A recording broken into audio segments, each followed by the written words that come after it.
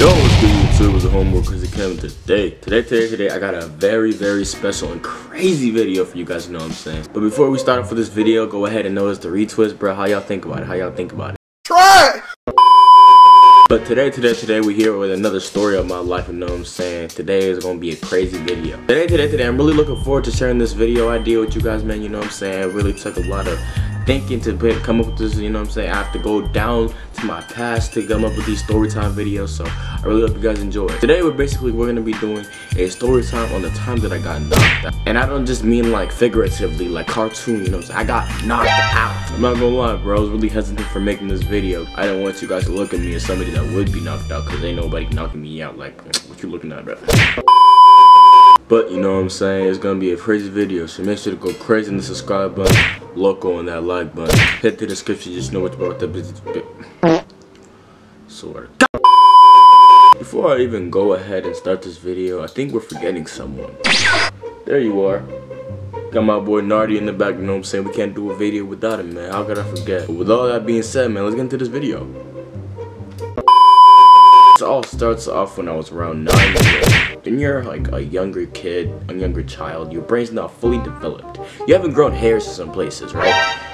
In GTA.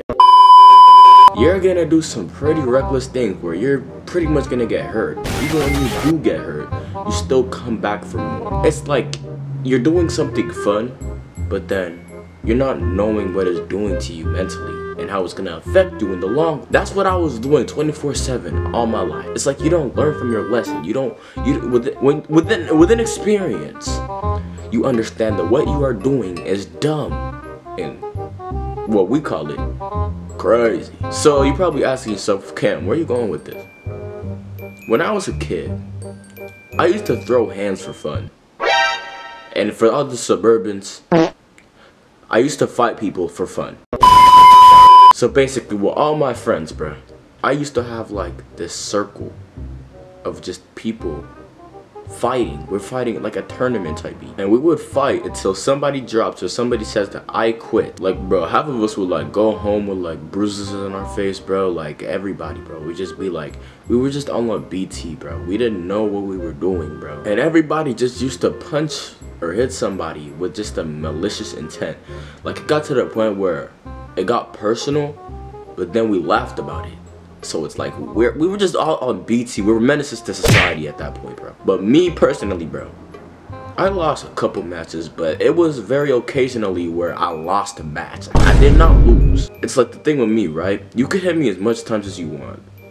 It's like I'm not gonna fall, bro. Like I'm sorry. Like like, spoiler alert, I'm not gonna fall. I have scars, bro. I have irreparable damage, bro, from those fights. But long story short, I was the champion. I never lost, you know what I'm saying? I used to keep a record. And I don't know what I got to.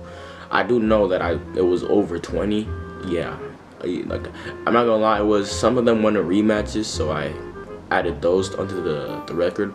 But all I know is from different other people, it was 20. We used to call the game Friendly Fade. A fade is pretty much an abbreviation of a fight. So I just used to be the champion, you know, I was holding the belt for a couple months until one beautifully bad day. So basically, if you're in a friend group, your friends finna instigate. No matter who it is, no matter what they think they're, no matter what they think they're doing, bro, they're gonna want to instigate something just to get a spark and see what the outcome is, bro. Because they want to be entertained, bro. They literally wouldn't do those things, but they end up getting other people into those things, which makes me so angry. So when I was like eight years old, like the year before, I ended up wrestling one of my very close friends. His name was Demarcus, okay? Now, I ended up losing so bad that my leg, my right leg went numb. Because he literally dropped me and I was in a position where like I was landing on top of my leg. And my arm was like, they have, you know like when something happens, like when you sleep on your arm, right? It's like you feel bubbly things inside. I felt that, but it was like more of a pain. So it's not more of like, like a sensitive feeling. You're feeling literal pain. And then my leg went numb for like a good two minutes. Then I started regaining feeling, bro. Like I was like, you know, you know the the over exaggerating noise bro, I was hitting those, bro.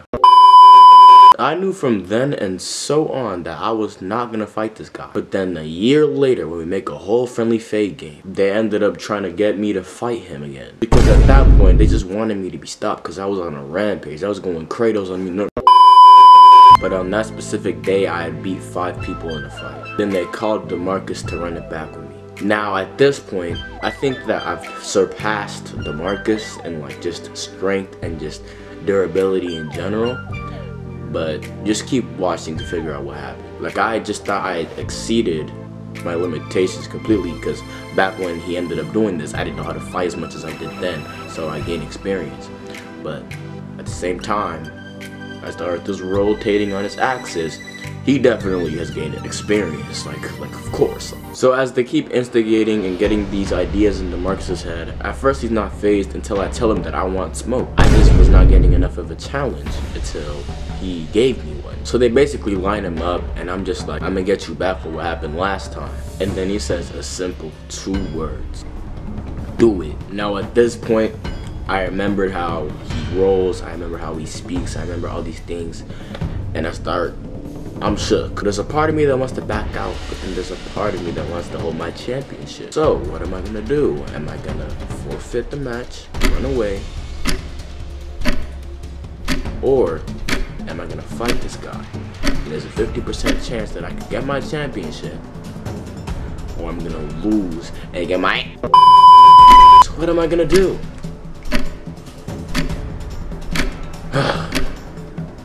I'm gonna fight this man. So my boy Sean goes ahead and he starts the timer. And at this point, bro, this is a full-on boxing Rocky match type E. Speaking of Rocky, y'all ready for Creed 3? So we both hit in our stance, bro. And you know when you're like really nervous, you decide to go aggro so you can finish the match quickly? Well, guess what I did? I did that. I'm just throwing my hands, bro. I'm just throwing them, bro. Because I know this guy throws heavy hits, so I'm, just, I'm not trying to get hit by none of that. Because if I get hit, I'm done. And around two minutes go by. I landed a nasty hit. And this hit was so nasty that I ended up putting like a red thing. It wasn't, it didn't even show the bruise or whatever I did to him. But there was a red thing on the side of his lip, bro. And I hit him so bad that he ended up having to go to the mirror and check this out. Now, I don't know what happened in the mirror, but somebody did tell me that he licked his thing. He licked his thing and he started smiling like this and took the entire group of people coming out, bro, telling me to run, bro. Everybody start coming out running. Running, bro. Everybody comes out to the garage where we're doing it, bro. Everybody just like, run, run right now. And I'm just like panicking, bro. I'm like, what's going on? Then I see bro at the garage door, bro. Bro is being held back by 10 people. Now at this point, bro, my heart is in my ass. So once again, I am faced with two options. One, forfeit the match. Or two, get a 50% chance of winning or losing. I'm not gonna lie, bro, at this point it's like 70-20. So me being the crazy little boy that I am, I jump in the crowd, bro, and I sock that man. No, bro, when he hits the ground, bro, bro hit these. Aries! Now at that point is when I ran. And then for some reason, everybody just lets go of him because I'm running. I took the run outside, bro, and I didn't even know that they let him go, bro. So I think I'm safe. I think I'm in the clear. I think I'm fine. And then two of my friends, bro, they ended up coming out, bro, and I asked them if I was okay. I, asked them if they were still containing that beast. And at that point, they had no idea either that he was being released. Then you were like, yeah, yeah, yeah, you good, you good, you good, bro, you good. And at that point, bro, I thought I could rest, bro. I put my hands on my knees, bro. And I was just taking my breaths, bro, because I ran hecka far, bro. Have you ever seen how far, far I ran, bro? I ran like across the entire neighborhood. All of a sudden, y'all know how when you open the garage door, the back door, the back door, that's what I'd say. You open the back door and there's a fence that you have to unlock, right? That's where I went. Bro went out the main door. So bro took time out of his entire night, bro, to go around the neighborhood just to get that lick back. So basically at that point, I was running so fast to the point where I was hallucinating, bro, and I was seeing green. Alright, so at this point, before he ends up knocking me out, I am already fatigued, bro. And my brain, bro, it's not it's not normal as capacity. So as I'm kneeling down, I end up thinking in my head, bro. I hear I hear footsteps, like a really fast running footsteps, bro, and he heavy dark breathing. And it took a while for me to realize that somebody was coming after me. My friend hadn't realized this fact too, bro, because at the same time, I was really judging if he would really do the thing that he did. He ran across the entire neighborhood, bro. I kid you not. I was really questioning, would he really do this? Then all of a sudden, bro, my friend spots someone, a black figure, bro, running, bro, this way. He didn't say nothing to me, bro. L Mans, he just let me there for open season. So I end up getting up, bro, and I'm so confused, bro. I start looking around, bro. Hey, what's going on? What's going on? Then all of a sudden, I saw somebody running like an animal, balling up their fist. I see that boy running with his arms loose, bro, and he let that thing. So y'all know how I was like already fatigued, right?